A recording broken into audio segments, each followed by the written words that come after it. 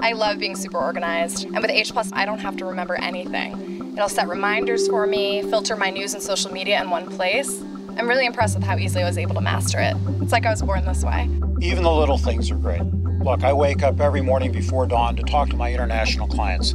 H Plus lets me set an internal alarm so I wake up rested and without disturbing my wife. What could be better than that? I play games live with my sister in Tokyo.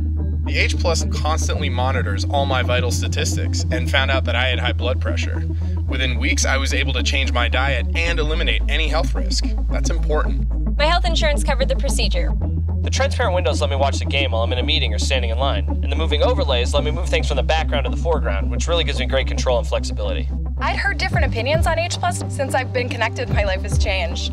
I honestly don't know what I'd do without it. I think I'd be on a desert island if I got disconnected or something. My neighbor's always tinkering with his car in his garage. I know nothing about cars, so I'm over there the other day. He doesn't know I have an H Plus, so he finds this broken piece. I do a quick look scan on it. Not only did I find the part number, I found where it was in stock at a local auto parts store. And he looked at me like I was from Mars.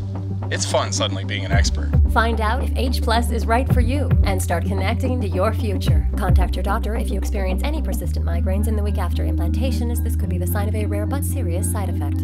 H Plus. The world is in you.